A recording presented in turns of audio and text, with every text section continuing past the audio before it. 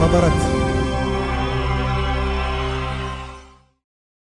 معانا المطرب هيثم نبيل من قناة مزيكا. يعني أنا مش هقول مطرب.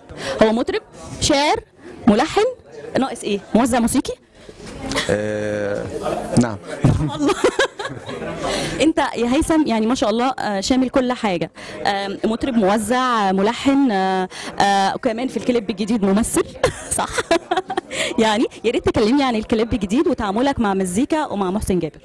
آه طبعا آه، أنا مبسوط جدا إن أنا مع شركة مزيكا مع أستاذ محسن جابر هرم من آم، وعمود من أعمدة الإنتاج الفني في الشرق الأوسط. آه طبعا بتشرف جدا بإن أنا موجود في الشركة وإن الألبوم إنتاج مزيكا. آه دي حاجة بالنسبة للكليب كنا حابين نعمل حاجة كويسة آه، ينفع تناسب كل الاعمار يعني كل الناس ينفع تتفرج عليها. آه، دي حاجة من الحاجات اللي أنا دايما بهتم بيها فالحمد لله إن إحنا قدرنا نوصل لده يعني. اختيار أغانيك في الألبوم. آه، شوية كان مميز. أنا عرفت لأن أنا قابلت كذا ملحن وكذا شاعر اتعامل معاك. وشوية في أغاني غريبة و... واسمها كمان أغرب. تحكي لي عنها. أه والله أنا بحب يعني ما بحبش مش من الناس اللي بتختار أغنيتين ثلاثة عشان تعمل هم يشيلوا الألبوم وفي الآخر بكمل. بعمل كل أغنية على إنها أغنية سنجل ده مهم بالنسبة لي جدا إن أنت كل أغنية ينفع تتصور. بس فده يمكن كانت مشكلة في إن إحنا بنفكر نصور إيه. يعني ما كناش عارفين نصور إيه من كتر الأغاني اللي ينفع تصور أه بحب أنا بهتم بالكلام جدا. بحب أعمل حاجات من حياتنا العادية يعني بحب أعمل أفكار من حياتنا كلام الشارع نفسه. اختيار أغانيك أستاذ محسن جابر شاركك فيها؟ آه، طبعا.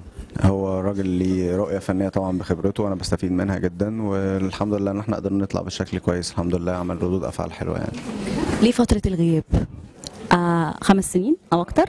تقريبا؟ سنين منهم سنتين آه، أحداث كتيرة في البلد فكان ناس كتيرة ما بتنزلش فنانين كتير ما بتنزلش آه، بعد الثورة. آه، في فترة بعد كده حصل عندي أنا آه، ب- بأخويا ف لله. ربنا يخليك. قعدنا سنة سنة بعيد شوية عن المزيكا يعني مش عارف أخش في المود تاني لغاية بعد كده اشتغلت في الألبوم سنتين فهو ده اللي خلاهم خمسة. يعني الألبوم ده شغال فيه سنتين؟ الألبوم ده اشتغلت فيه شغل سنتين كنت عايز أرجع بحاجة قوية وحاجة الناس تحترمنا عليها. خبرت أقوى موقع فني